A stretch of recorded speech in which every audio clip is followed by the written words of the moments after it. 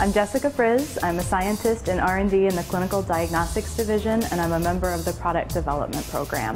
I was familiar with Thermo because I had worked with their products as a graduate student and I was always impressed with the quality and the breadth of things that they could supply in our lab. When I had a chance to interview with Thermo, I was really excited to take that opportunity.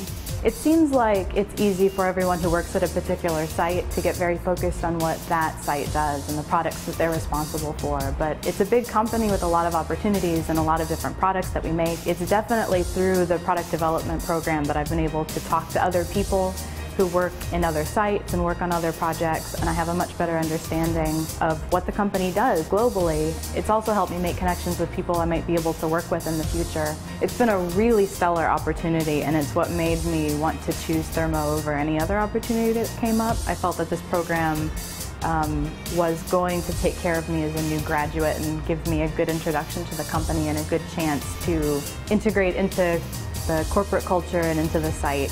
Whereas other places, new graduates are sort of these frail beings that are not treated with that kind of optimism of their potential. The thing that I'm really excited about in the work that I'm doing now is that it has a direct connection to healthcare to helping people. The project that I'm working on now has the potential to be in every hospital and help every patient who walks through the door, and that's very rewarding.